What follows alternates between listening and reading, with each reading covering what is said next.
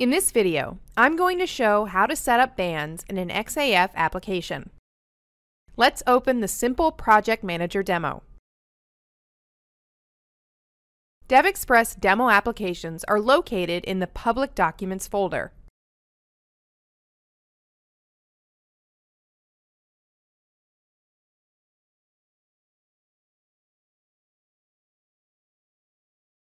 The solution is loaded now, and we can build it.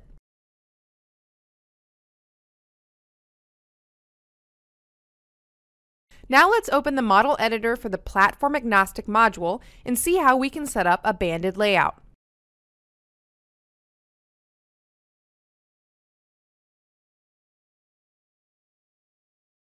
I'm navigating to the project task list view.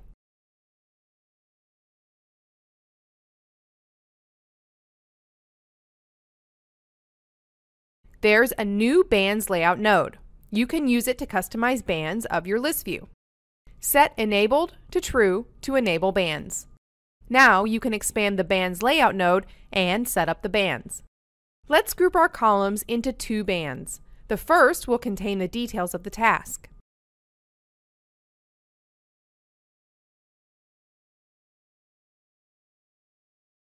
So, set its ID to Task Details. The band node appears among column nodes. I can drag several columns into it.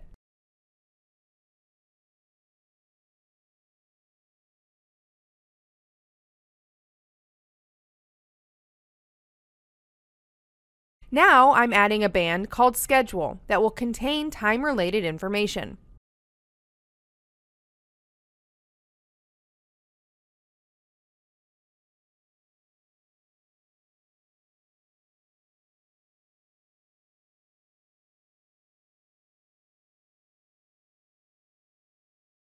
And now we're ready to see the result.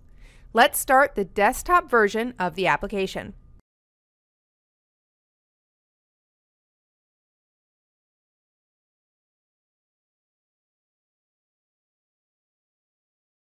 The Simple Project Manager application is loaded, and you can see the bands in the grid header.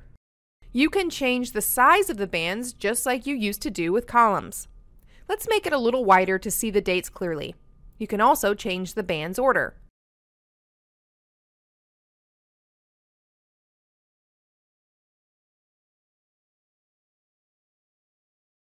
As we made customizations in the platform agnostic module, customizations are also applied to the web application. So let's see what we have there.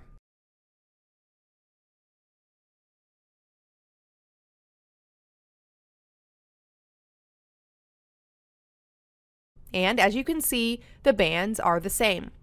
The web list editor also allows you to drag bands and columns and rearrange them.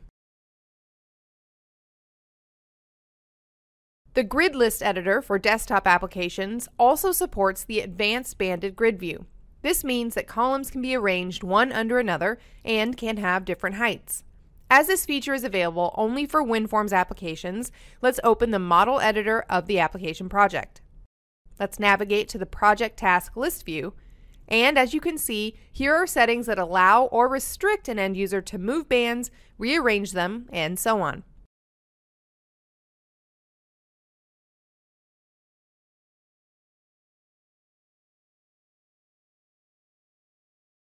Let's place a subject of a task below the other fields. In the layout group, there's a property called row index. This property is used to defile the level of the column. Columns with the same level will be arranged horizontally in a column group.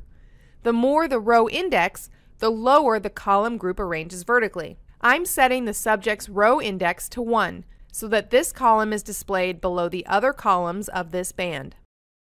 And let's see how it looks.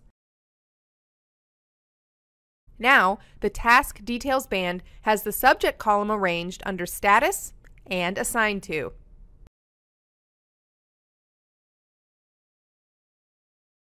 And that's it. Thanks for watching, and thank you for choosing DevExpress.